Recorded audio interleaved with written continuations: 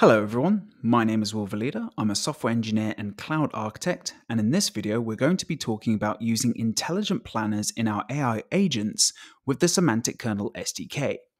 Let's start by answering the question, what are planners? Planners are a dynamic tool that transforms our user requests into an actionable plan. It accepts the request from the user, otherwise known as a goal the user wants to accomplish, and the planner uses AI to select and combine the plugins registered to the kernel in a series of steps. Behind the scenes, the planner will use a prompt to our large language model to generate the plan. The planner is given a set of rules to use when generating a plan, and these rules will contain a description of all the functions available to the large language model to create the plan. Now, in a previous video I did about native functions in the semantic kernel, I talked about how we can describe our native functions using a description decorator. This is why you include a description for your functions, as the description helps the large language model decide which functions to use when generating a plan. Now, to use a planner, we create it by using a handlebars planner object. Once we create it, we pass it a goal. This is just a string that describes the desired outcome. The planner will then create a plan to accomplish the goal. The createPlan async method will return a handlebars plan object that we can use to invoke and run the plan. We can also save the generated plan and reload it later. But a question you might ask is why would we do this? Because saving and using a predefined plan helps us to optimize our planners. When we run a plan, we have to create it, then invoke it. That takes time since the planner has to consume a full list of tokens and then generate a plan for the goal. Running the plan also takes time. If we rely solely on the planner's response after a user provides input, they may assume that the application is unresponsive since this is going to take some time. You might want to consider providing feedback to the user from the model while they wait. Prompts and generated plans also consume a significant number of tokens which can be expensive in terms of performance and cost.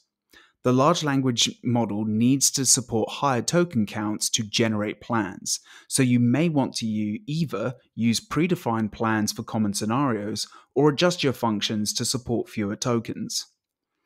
Planners also generate or can also generate faulty plans. You need to implement robust error handling to ensure that your planner is reliable. For well known scenarios, you'll want to use pre generated plans, as this will help avoid performance hits and increased costs associated with your planner. You can then store plans within your project and serve the pre generated plan to your users. Now, let's go into Visual Studio and see how we can use intelligent planners with the Semantic Kernel SDK. Cool, so here I am in Visual Studio. Now what we're going to do is we're going to create a planner to automatically invoke our plugin functions to accomplish a goal.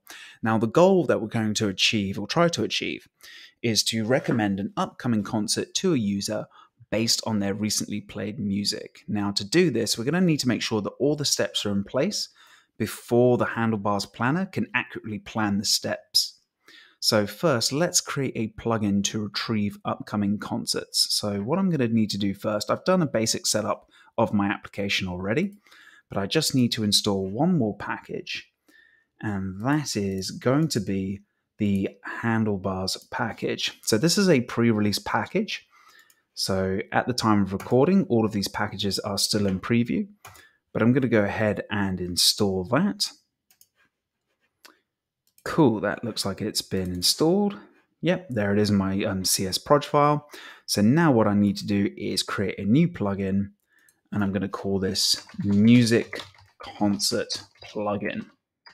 I'm going to do a lot of copy and pasting just for time, um, but essentially what I'm going to do is I'm going to create a new plugin with a new kernel function. So I'll just make this class public first get some real estate going, and then copy and paste this kernel function. That's going to get all the concerts for me. So it's going to read this concert dates tx um, text file. Just um, add the using statement for system component model. Um, and it's going to re return that content back to the user. So I've already got this concert dates uh, text file. Save everything. Um, I'll make sure that that is being copied to the output directory, which it is. Cool. Okay, so currently handlebar planners can't complete large language model prompts on their own. Uh, the planner can only select available prompts and functions and combine them together to achieve a goal. So, what we need to do next is to create a prompt to ask the large, large language model to suggest a concert. So, what I'm going to do is I'm going to create a new prompt, a new folder called prompts, and I'm going to create a new folder for suggest concert. Cool. So first, there are two things that I need to do to create a prompt in the semantic kernel. The first will be a config.json file. So I'll just add that config.json, and I'll just copy and paste the prompt configuration there.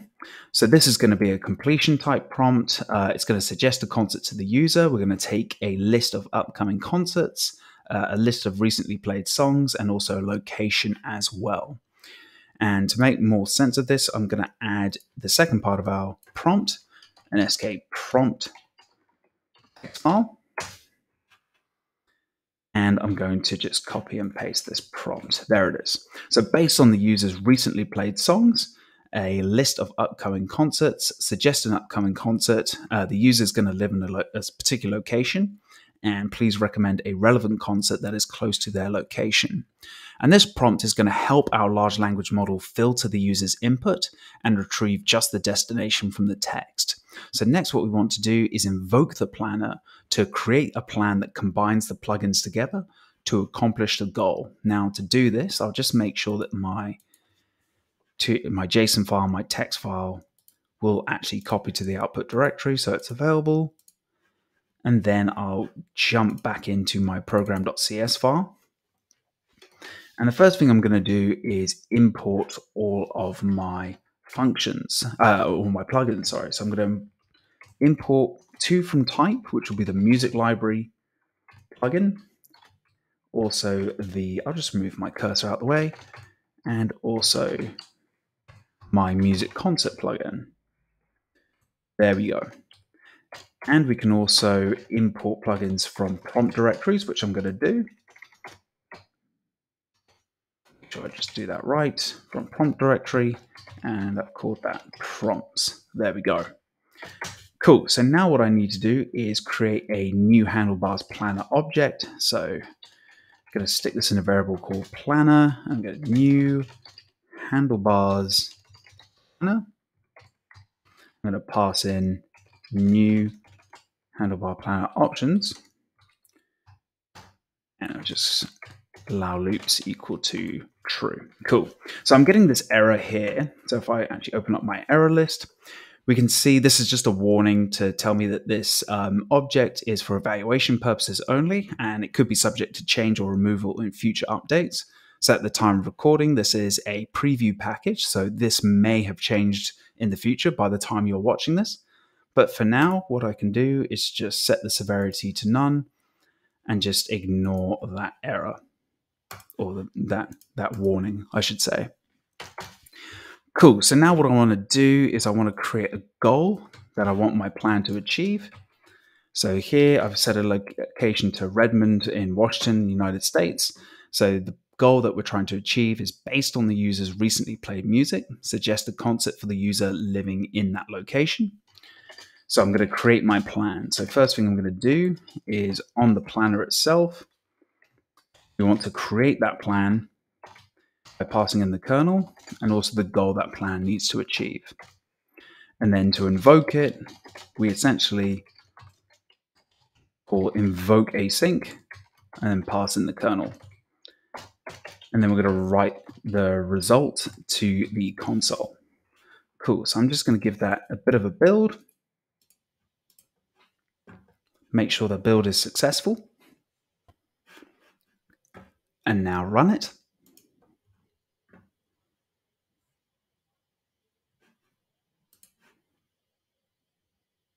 And there we go. Um, so it says it might need a little more information to make a relevant recommendation. However, since the user lives in Redmond, Washington, uh, there's a concert in Seattle uh, in well, well February, which was last um, last month. um, it's close to their location, etc., etc., etc. Cool. So we can see now that the planner has kind of um, invoked our um, invoked our plan uh, and executed our goal. And the handlebars planner is useful to us when we have several steps required to accomplish a task. So it can't run uh, large language model prompts on its own. So you want to consider like the different tasks a user might want to accomplish in your application. So now what we're going to do is we're going to start using a plan template. So what you can do is you can tune the plans generated by the handlebars planner. So now what we're going to do is we're going to generate a plan, tune the template, and then use it as a function prompt. So what I'm going to do is I'm just going to update this code in my program.cs file. So rather than kind of executing the plan, I'll just comment this out. I'm actually going to write out the plan itself. Cool. So let me run that. And there's the generated plan for me.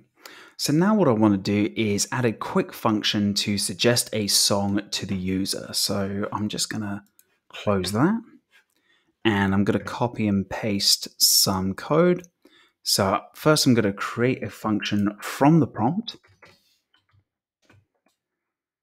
So there I've essentially said, okay, I'm going to create a function from my prompt. Here's the prompt template. This is what the, the name I'm going to give to the function, suggest song, and here's a description. Then I'm going to add that to my kernel by calling kernel plugins add from functions. So the suggest song plugin, and then I'm passing in this function.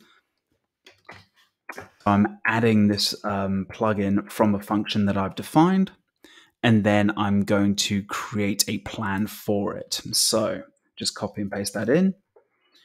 So on this song suggest plan, I'm creating a new plan using the kernel. I'm suggesting a song from the music library based on their recently played songs. So I'm just going to copy and paste that. I'm going to call that uh, song suggestion plan. And let me just make it different, um, make sure that these two plans are, it's a little bit more obvious that they're separate. So this is going to be my concert plan. And then down below is going to be my song plan. Cool. So in this code, what we've done is we've created a function from a, a prompt that suggests a song to the user. We've then added it to our kernel plugins. And then finally, we've told the planner to create a plan to accomplish this goal of suggesting a new song to the user. So let's give this a run.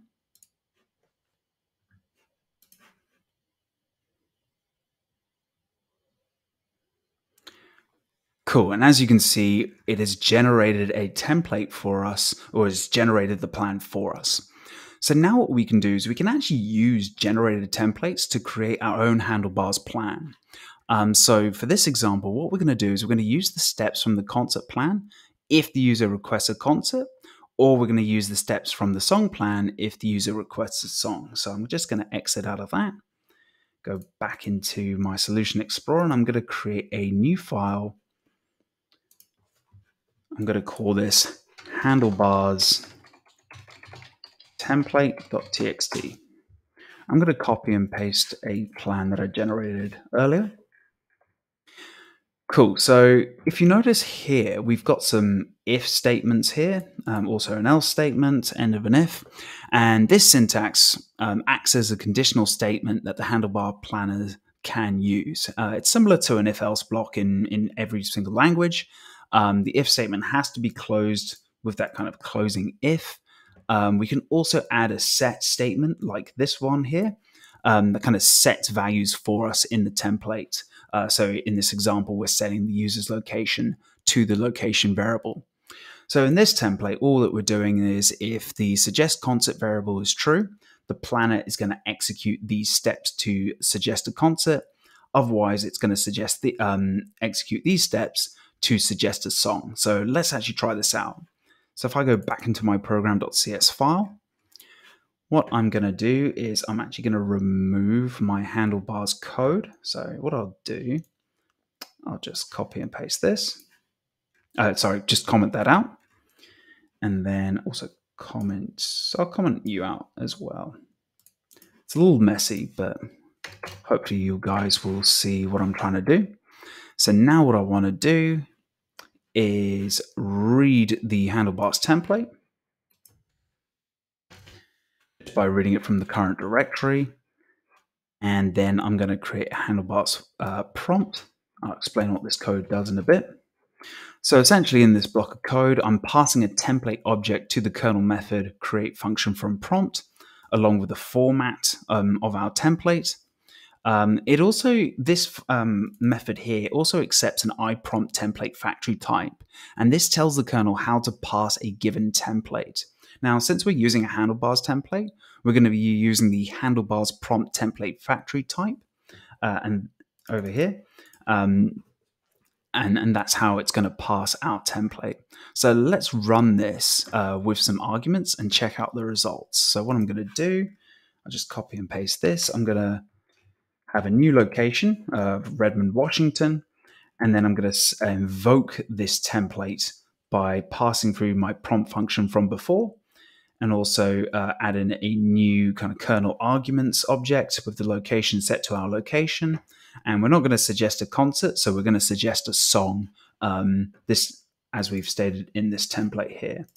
So what I'm going to do, I'm just going to make sure that, yep, I need to copy that to my output. I'm going to go back into Solution Explorer, and we're going to go ahead and run this.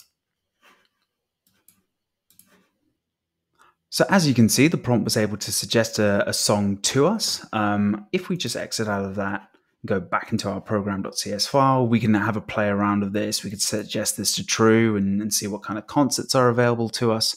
Um, and we can try different things to get different prompts back from our large language model. So that's the end of this video.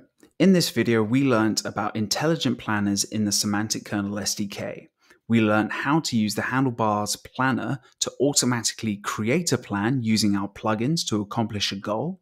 And we also learned how to fine tune our plans to create smarter applications.